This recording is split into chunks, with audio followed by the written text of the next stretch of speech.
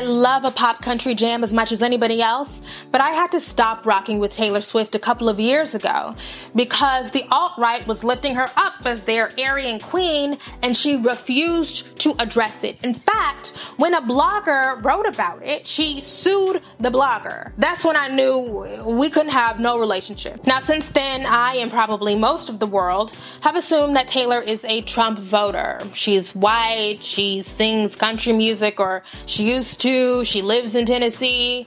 And when given the opportunity, she has repeatedly refused to denounce Trump. She stood on the sidelines because she didn't want to alienate her racist fans. Now, that was it for me, even though I did like Reputation. She chose what side she wanted to be on.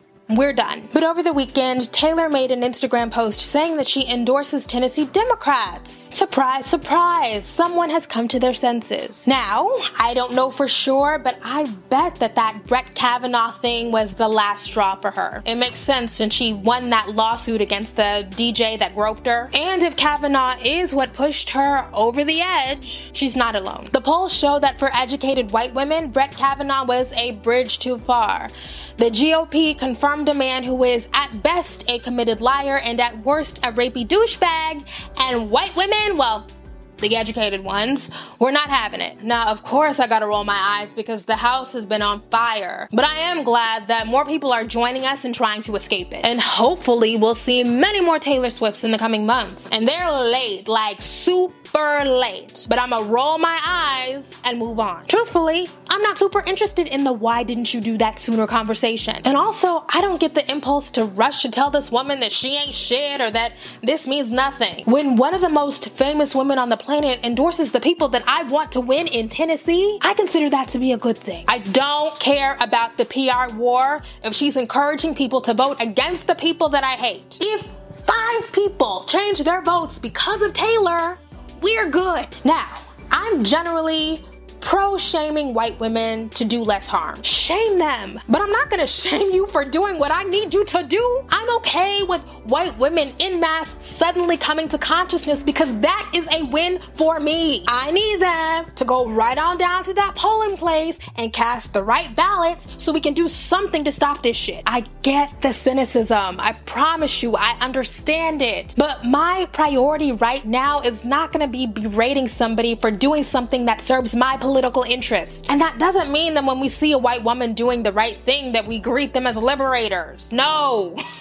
we keeping you at a distance. But once you're in the door, then we can have a conversation about why you're awful so we can set some boundaries. But I need you to get through the door first. You gotta get through the door to be of any help to the communities that I care about. We need all hands on deck to fight the evil side of this equation. And when they do fuck up, tell them.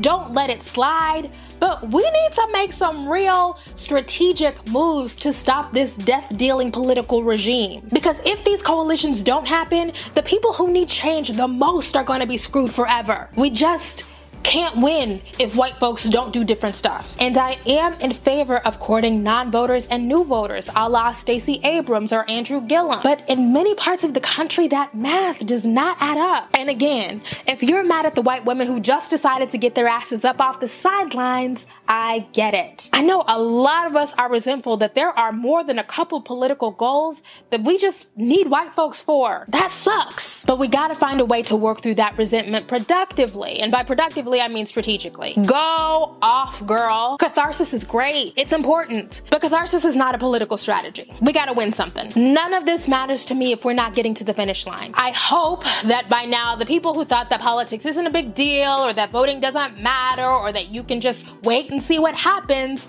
recognizes that we are in some deep shit. And I say all the time, white women need to do their work. So if you've just decided to join the effort to extinguish this gigantic dumpster fire, welcome but we're watching you. Well, guys, thank you so much for watching. Be sure to like, share, and subscribe. If you like the work that we do here, become a patron on Patreon. There's exclusive content over there. It's lit, it's poppin', or make a one time donation. Links for both of those things are below.